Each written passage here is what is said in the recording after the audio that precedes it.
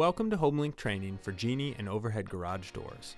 Before programming Homelink, make sure that people and objects are out of the way and park your vehicle outside of the garage.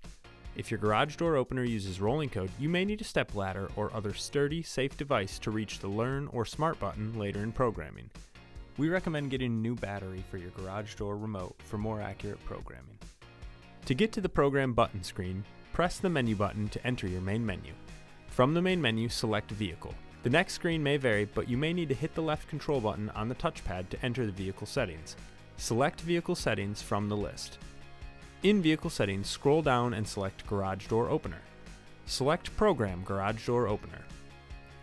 Select which Homelink button you would like to program and the indicator light on your Homelink will begin blinking orange.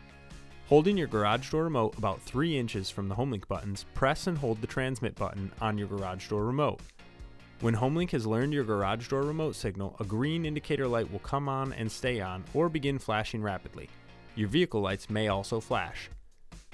Press and release the train Homelink button 2 to 3 times. If your garage door uses fixed code or has quick train functionality, your Homelink training is complete and you can select yes from the prompt. If your garage door is not moving, you have a rolling code device and you have a few more steps to complete. Select no from the prompt. The next steps are time sensitive and may need to be tried multiple times. On your garage door opener in the garage, locate the Learn button. Press and release the Learn or Smart button on your garage door opener. Within 20 seconds, return to your vehicle and press and release the programmed Homelink button. Repeat the press and release sequence up to three times to complete the training process. When your garage door begins moving, select Yes from the prompt. Homelink will now activate your garage door.